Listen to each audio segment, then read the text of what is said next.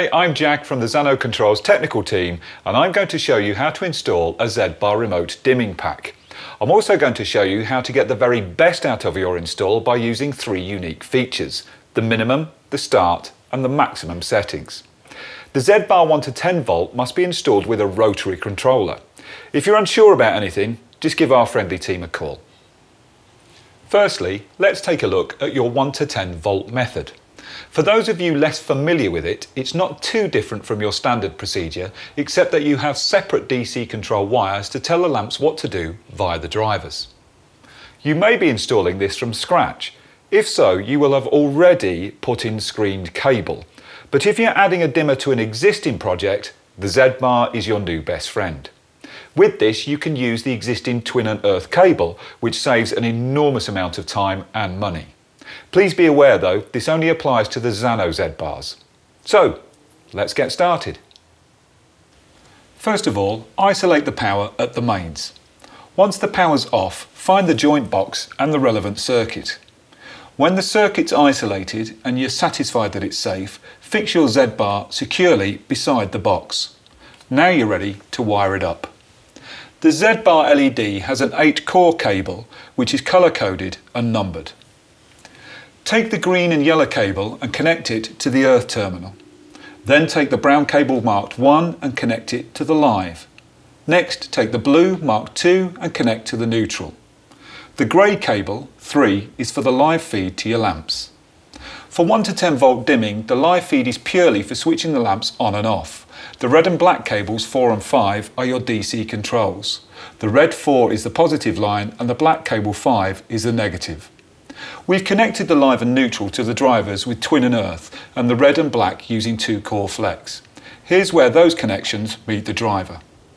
All the following drivers just connect in parallel. Finally, take the white cable marked 6 and terminate it onto the brown switch line and the purple number 7 to the other switch line. So let's connect the switch. You can use grid, module or plate mounted. Zano rotary controllers are all wired the same way. Take the brown wire and connect to the terminal labelled 6. The blue wire connects to terminal 7. Also, be absolutely sure to terminate your earth cable according to regulations. Now fix your switch back to the wall or switch box securely and safely, ensuring that all terminations are safe. Once that's done, switch the power back on and you're ready to put the dimmer into programming mode. Start by turning the lights on and clockwise for full brightness. Press again to turn off and then turn fully anti-clockwise. Press once more to turn on and the lights will flash once. This indicates that the dimmer's in programming mode. Now you're ready to set the minimum level.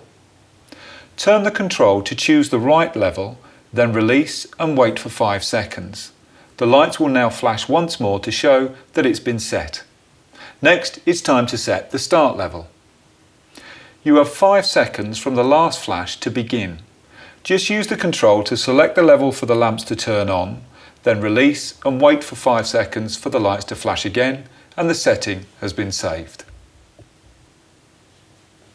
We've introduced this feature because some LEDs simply won't switch on at a very low level. The Z-bar LED enables you to set the lights at a slightly higher level for when you first start them. This ensures that all the LEDs get enough power to come on evenly, but then allows dimming down to the lower minimum level. This helps to achieve the very best dimming range for your install.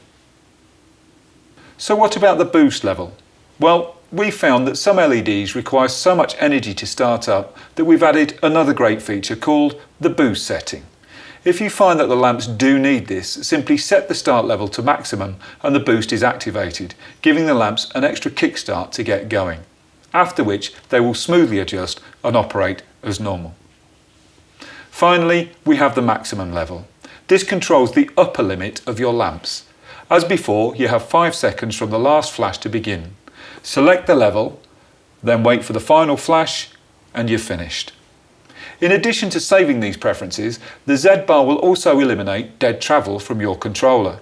It will automatically adjust so that the highest level is reached at the very end of the turn for the best user experience. And don't forget, If you would like to change any of the levels you've set, simply follow the steps again to put the dimmer back into programming mode and readjust. To skip a setting, just wait for the 5 second flash to pass and continue on to the next stage. Easy. All of these selections will be stored in the Z-bar. Adding or removing controllers won't affect them. They will even remain stored if there's a power cut. If you want to dim more lamps, you can add more Z-bars to the circuit. You can also connect multiple controllers. Simply make sure you connect them in parallel to the first one. And that's it. Another fit and forget solution only available from Zano Controls.